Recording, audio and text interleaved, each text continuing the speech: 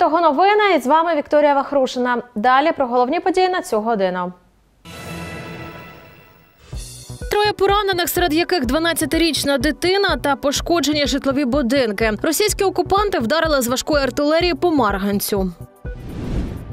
Сплачували податки у бюджет ДНР і відраховували гроші у фонд Пушиліна. Служба безпеки України викрила на Дніпропетровщині продовольчу корпорацію, яка фінансувала терористів. Вузлик зав'язали, про захисників подбали. Майстрині з Дніпра плетуть килимки та шиють подушки для ЗСУ і роблять захисникам обереги. Є бажання, а роботи ні. Приходь на навчання. У Дніпрі відкривають безкоштовні курси перепідготовки водіїв для міських автобусних маршрутів. Цивільні у формі, де не на моді чи жест солідарності. Як носити мілітарі стиль так, щоб не спровокувати скандал, розкажуть журналісти відкритого. І про це та інше більш детально. Троє поранених у Марганці через ворожий обстріл. До обіду російські окупанти двічі вдарили по місту з важкої артилерії. Поранення отримали 12-річна дівчинка та дві жінки 52 і 60 років. Їх доправили до медичних закладів, де лікарі надали необхідну допомогу. Крім того, снаряди пошкодили 10 будинків, 4 господарчі споруди, кілька сонячних панелей, лінія електропередач, газопровід та водогін. Відповідні служби уточнюють масштаби руйнувань та фіксують наслідки атаки. Правоохоронці відкрили кримінальне провадження за статтею порушення законів та звичаїв війни. Роботи на фініші у постраждалому від ракетного удару будинку на житломасиві Перемога вже замінили більшість потрощених вікон. У міськраді кажуть, роботи йдуть за графіком. Нині комунальники продовжують встановлювати нові склопакети у шостому корпусі багатоповерхівки. Загалом на сьогодні вже замінили понад 800 вікон з майже 1300 запланованих. У департаменті житлового господарства зазначили, ремонтні бригади облаштовують єдине місце збору старих вікон, аби потім їх зручно було централізовано забрати транспортом. Повністю завершити заміну пошкоджених шибок планують за декілька тижнів. Водночас долю під'їздів, які зазнали найбільше руйнацій, вже вирішили. Уже есть высновок экспертизы. Мы получили, согласно этого высновка, второй и третий подъезды.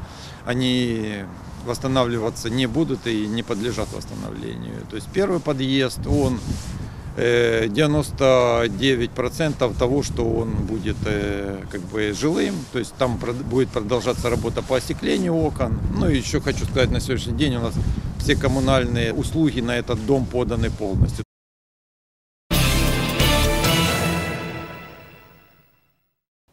Сплачували податки у бюджет ДНР і фінансували Пушиліна. Служба безпеки України викрила на Дніпропетровщині українську продовольчу корпорацію, яка фінансувала терористів. Підприємство займалось дистриб'юцією оптових партій продовольчих товарів через торговельні мережі у різних регіонах України. Згідно матеріалів слідства, компанія мала частину активів на тимчасово окупованій території Донеччини і сплачувала там податки. Загалом, за даними СБУ, вона перерахувала у бюджет ДНР понад 4 мільйона гривень. Крім того, корпорація робила відрахування до фонду Пушиліна на підтримку російських окупаційних угруповань. Під час обшуків у складських та офісних приміщеннях компанії та квартирах фігурантів виявили фінансові документи, чорнові записи та електронні носії інформації з доказами незаконної діяльності. Триває слідство. У 2014 році засновники комерційної структури перевели частину її активів на підконтрольну українській влади території Донецької області, а після повномасштабного вторгнення на Дніпропетровщину. Інша частина бізнесу увесь цей час залишалася на тимчасово окупованій території сходу України. При цьому власник компанії налагодив там збут продовольства і перерахування одержаних прибутків на користь місцевої окупаційної адміністрації. Постачання продукції здійснювали через афілійовані комерційні структури, які перебували у захоплених районах. А керівниця відділу податкової служби Дніпропетровщини СБУ заскочила на хабарі у понад півмільйона гривень. Щомісяця вона з кожного власника бізнесу у сфері валютно-обмінних операцій вимагала 300 тисяч гривень. За ці гроші обіцяла закривати очі на формальні недоліки в роботі. У разі несплати хабара погрожувала проведенням додаткових перевірок для блокування бізнесу. У помічники взяла родича. Його схопили на гарячому під час передачі грошей в одному з кафе Дніпра. Час обшуку за місцем проживання посадовці знайшли велику суму готівки. Наразі встановлюють походження грошей. Поліція відкрила кримінальне провадження. Фігурантам повідомили про підозру. Триває слідство. Паління шкодить не лише вашому здоров'ю і гаманцю, а ще збагачує кишені аферистів. Доведено Нацполіцією. За підозрою у шахрайствах на продажі тютюнових виробів поліцейські Дніпропетровщини затримали групу підозрюваних. Вони розміщували оголошення про продаж електронних цигарок та іншої тютюнової продукції у месенджерах та соцмережах. А після отримання передоплати або повної суми за товар блокували номери телефонів та обривали зв'язки з покупцями. Наразі доведена причетність затриманих до 12 епізодів. Та правоохоронці припускають, що за результатами слідства кількість ошуканих курців збільшиться.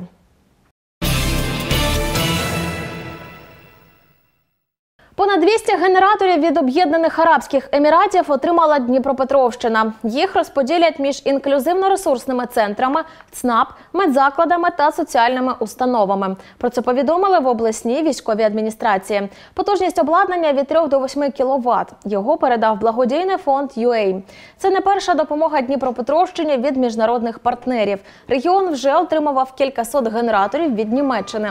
Їх розмістили в пунктах незламності та медзакладах громад області. А Чехія придбала три потужні промислові генератори: два по 550 кВт, третій понад 800. Вилетні встановили на водоканалах Дніпропетровської області. Відсьогодні всі населені пункти Дніпропетровської області долучилися до проєкту Несемо світло разом. Це спільна кампанія ЄС та українського уряду. Її мета зменшити навантаження на пошкоджену ворогом вітчизняну енергосистему. Для цього запустили обмін старих ламп прожарювання на енергоощадні ЛЕД. За перший тиждень дії державної програми у Кривому Розі та Дніпрі лише ці міста до 9 лютого брали участь в акції. Вже обміняли 216 тисяч лампочок. Наразі це другий результат після Київщини. Загалом по Україні обміняли 2 мільйона ламп. Маємо дуже різні лампочки, а і навіть замовлення в дії від людини, якої 102 роки. Вона замовила лампочки, і ми обов'язково їх доставимо, бо треба поважати вік. Але це мені кажуть не рекорд, що є людина 105 років. Тому а, такий цікавий проект. Я думаю, що ми швидко будемо набирати оберти. Бачите, перший тиждень зайняло до мільйона а, десь тиждень, а буквально за півтора дня е, набрали другий мільйон. Нагадаємо, долучитися може кожен повнолітній українець. Є два способи: подати заявку через дію або ж одразу прийти на пошту. При собі потрібно мати паспорт і картку платника податків. Одна людина може обміняти до п'яти робочих ламп прожарювання. Загалом в Україні планують замінити 50 мільйонів застарілих лампочок. Такий крок допоможе знизити споживання електроенергії до 10%. Зазначимо, ЄС вже придбав та передав нашій державі понад 30 мільйонів led ламп.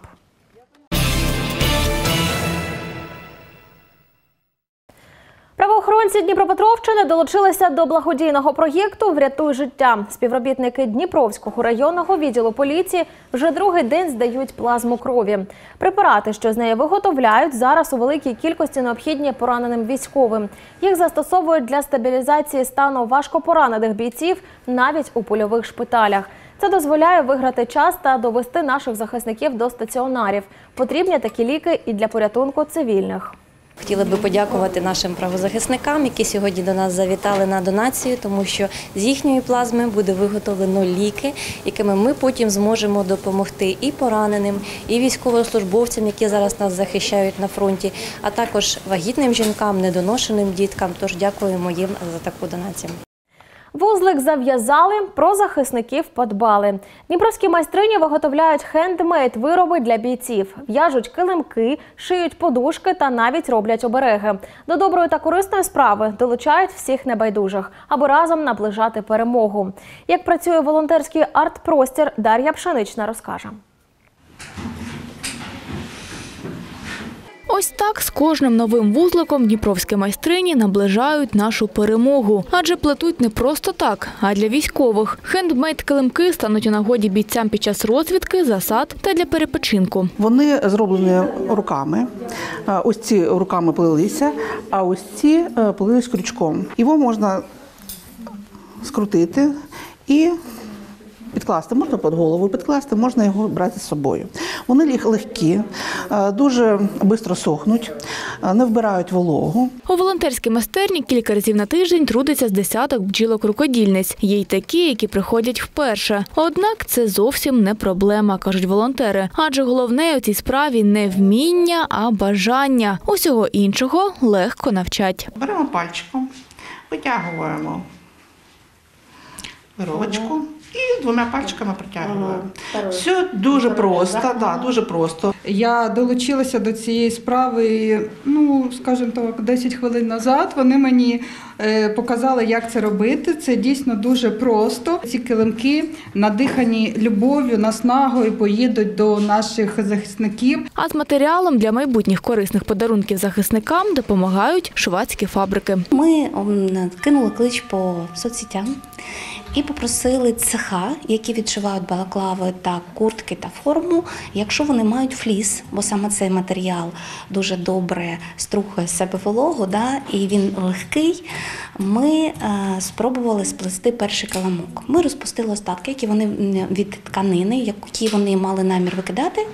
Ми їх розпустили на стрічки, і з тих стрічок зв'язали перший каламок. Але одним килимком не обійшлося. Відтак майстрині взялися виготовляти ще й подушки. А щоб підняти настрій захисникам, пошили й обереги. От такий гусь, який може хранителем бути е, у солдат в бліндажі.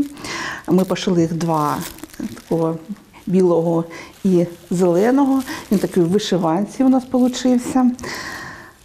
Такі гарненькі. І е, ми їх карамельками. Волонтерки кажуть, така підтримка значно підіймає бойовий дух захисників, а ще не дає опускати руки самим дівчатам. Адже кожен виріб говорить про те, що в захисників вірять та чекають з перемогою. Мені треба за щось триматися, треба морально якось підтримувати наших військових.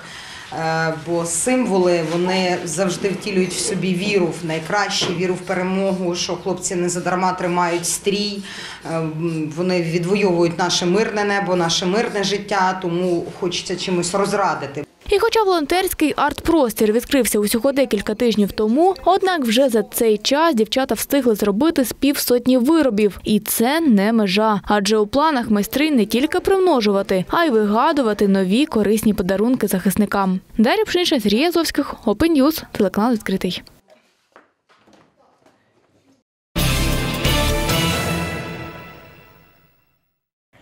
У Дніпрі відкривають безкоштовні курси перепідготовки водіїв для роботи на міських автобусних маршрутах. За науку платитимуть міжнародні організації. В інспекції з питань праці та зайнятості населення міської ради зазначають, в нашій області наразі півтори тисячі вакансій для водіїв категорії Д. Але водночас багато незайнятих людей зі спеціальностями, які нині не затребувані. Тож запрошують на курси перепідготовки усіх охочих. Навчання тримісячне. Є люди, які хочуть е, знайти собі роботу, але за тією спеціальністю, яка в них є, навіть з вищою освітою, не завжди зараз такий час можливо знайти собі роботу. І тому ми виступили з ініціативою е, про те, щоб людей, яких є бажання, є розуміння і є згода е, стати водієм категорії Д і почати працювати. Е, Водієм пасажирських перевозок е, отримати перенавчання Зараз особливо гостро стоїть проблема нестачі водіїв. Через це деякі рейси їм дуже складно виходити, особливо під час, коли зупиняється електротранспорт і потрібно підсилювати багато, багато автобусних маршрутів. Ця проблема сильно відчувається. Загалом, якщо казати по місту, не вистачає близько 400 водіїв автобусів, але ми розуміємо, що після того, як війна закінчиться і розпочнеться відбудова нашої країни, така кількість збільшиться на десь 500-600 ще нестачі водіїв.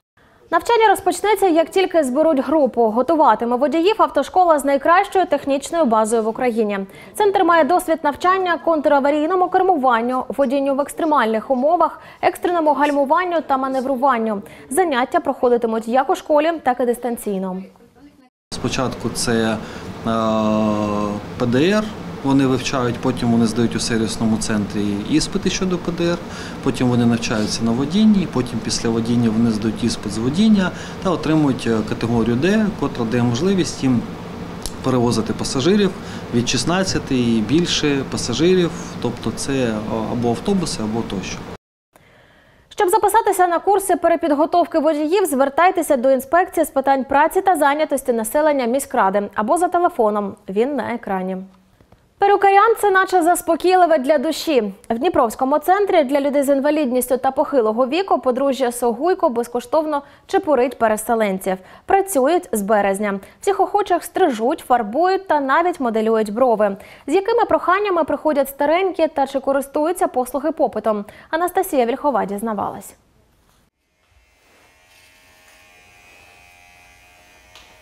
Озброївшись ножицями та машинкою, Юрій починає роботу. Його клієнти це старенькі та люди з інвалідністю. Всі вони були вимушені тікати до Дніпра з під обстрілів. Серед таких і Петро. Чоловік родом з Бахмута. Там жив, допоки не отримав поранення, через яке йому ампутували ногу. Я, в принципі, нічого не поняв. Вийшов собак покормити.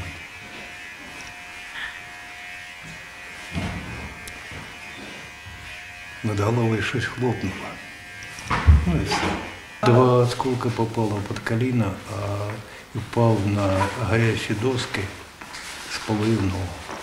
На перукарському кріслі сьогодні 90-річний Микола. Він оновлює стрижку щомісяця. Каже, сервісом задоволений. Очень хорошо, я доволен. И помещением доволен, и обслугой доволен.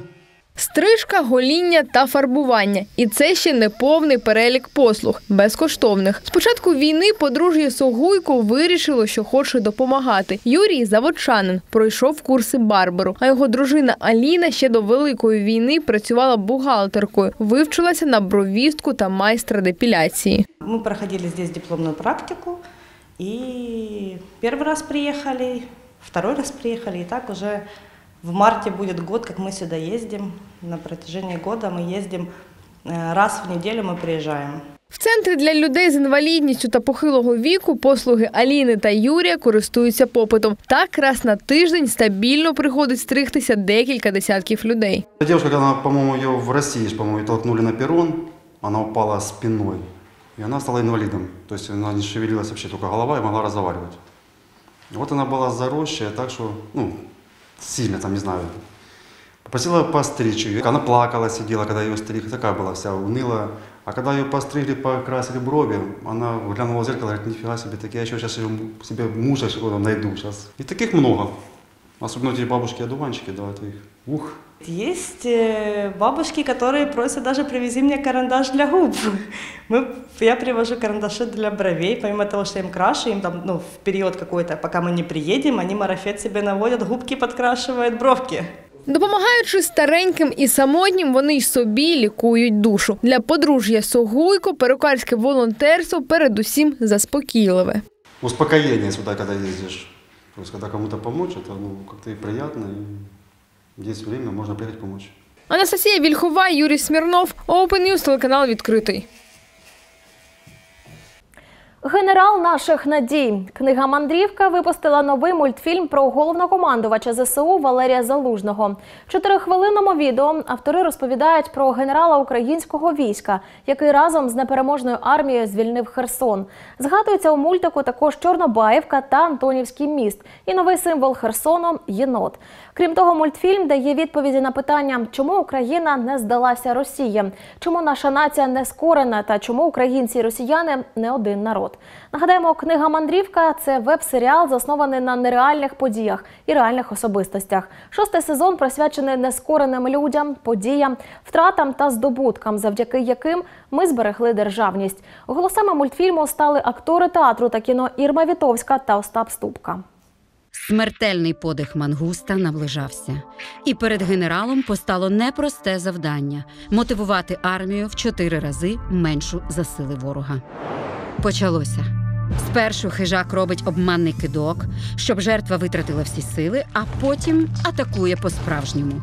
Тому росіяни і назвали свою спецоперацію кидок мангуста. У нас в п'ятеро менше танків. Чим ми будемо воювати? Нескореністю та стратегією. Тактичні штани, оливкова футболка, камуфляжна сумка. Звучить як опис образу військового. Та зараз ми все частіше зустрічаємо в такому одязі цивільних. Мілітарі стиль з'являється у гардеробі навіть дітей. Що це данина моді чи жест солідарності?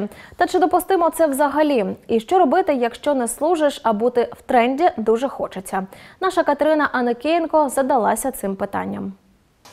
Війна проникла до усіх галузей нашого життя, всі новини та розмови про неї. І як тут думати про моду? Виявляється доволі легко. Зараз стиль мілітарі набуває популярності не лише у нас, а й за кордоном. Та чи можна носити військове, якщо ти цивільний? Захисники цього робити не радять. Це ідентифікатор. Коли людина так вдягається, то ну перша думка, що вона військова, і до неї там можуть виникнути якісь питання, там чи не знаю, ну знову ж таки запитати її військовий квиток. Там чи УБД, наприклад, ти цивільний, ти вдягнений е, в мілітарі стайл, а тут стоїть військовий, він вдягнутий в мілітарі стайл, і у вас якби різний зовсім досвід. Костянтин мілітарі стиль обрав ще задовго до великої війни. Він музикант. Пояснює, шукав щось, в чому було б зручно виступати на концертах. Джинси та класичні брюки сковують рухи, спортивні штани мови тон. А мілітарі стиль зручно та стримано. Я не ношу пікселі, я не буду носити пікселі. Це що стосується одягу, тому що я вважаю, що це військова форма. Якщо ти не маєш ніякого відношення до військових, ну як би носити це. Ну це неправильно. Ти ну не те ти не дів, що тобі потрібно. Та деякі речі Костянтин купляє як у військових, бо ціна відповідає якості і носити таке дуже комфортно. Я розумію, що це на фронті це медична сумка, я це розумію прекрасно, але вона дуже вмістка і вона якісна. Тому що якщо купляють таку, ну купляють сумки там за півтори-дві тисячі гривень е, на базарі, я вважаю це недоречним, це розходний матеріал, який в, е, в тебе там за півроку активного користування він буде тряпкою. Ну, а купляти за 300 гривень, ну тим паче. Мілітарі стиль не лише трендовий, а й дійсно дуже зручний. Та психологи радять, кому треба носити комфортне і практичне, носіть, але ж не копіюйте військових. Та є певні речі, які не можна одягати за жодних причин. для кого ця форма неодноразово була в багнюці е, або в крові товаришів. Ну просто якийсь вдягнений військовий чувак, це, ну, це пряма образа. Насправді то. Форма це е, ну, робоча одежа дуже серйозної, кривавої, небезпечної роботи. І справжні військові, багатьох з яких я знаю, першим чином, коли повертаються додому зі служби, знімають форму, беруть і вивішують до наступного відрядження. Є символи, які цивільним носити не можна, бо за ними дійсно жертви, кров, величезний героїзм і стійкість. З цим погоджується і дизайнерка Анна. Це і неправильно, і не дуже коректно. Якщо ми вводимо в свій образ трошечки піксель, принт, можливо, він не повністю 100% по кольору співпадає з е, одягом наших військових. Зараз є принти там піксель, але у кольорах синьо-жовтих наших українських. Це прикольно. Якщо вже так хочеться додати до свого стилю щось військове, робіть це акуратно. Це може бути мілітарі або карго, або будь-що інше, що дає невеличкий натяк на одяг військових, але точно не піксельний однострій з тактичним спорядженням. Можна взяти який, якусь деталь або колір, або фактуру і додати це в якусь одну одиницю одягу у вашому образі. І тоді, в принципі, це цього буде достатньо, щоб не переборщити, але бути все-таки у актуальній тенденції. Секрет стилю в адекватному підході, говорить Анна. Власне, тому дизайнерка також проти, щоб у військове одягали дітей. І така думка нещодавно прокотилася соцмережами. Користувачі порівнюють це зі щорічним загостренням повідобєсія, хронічного недугу, що панує на російських болотах. Тому, аби не ставати подібними, треба чітко розуміти межі. Їх вдало окреслюють магазини тактичного одягу. Піксель та амуніцію цивільним просто не продають, бо для них є окремий товар. У нас асортимент акцентований не тільки на військових, але й на цивільних. По асортименту може будь-яка цивільна людина придбати для себе як і файну футболочку, морально, так і дуже крутезні штани або брюки. Так, є волонтери, є громадські спільноти, котрі допомагають військовим, але вони на то мають спеціалізовані документи та мають спеціалізовані права. Тому, якщо ви звичайна людина, але купити щось в мілітарі стилі хочеться, вибір є. Однокольорові тактичні брюки, котрі не виглядають якось занадто визиваючи для тактичного спорядження. Технічно найкраща моделька, котру беруть цивільні. Також можна взяти кросівки, але, наприклад, чорні, або футболку з принтом, який оригінально, але культурно показує ваше ставлення до росіян. Із цікавих.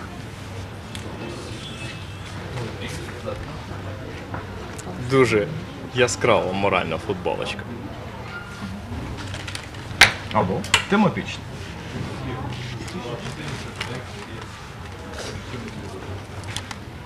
Сагайдачний. Поход на Москву.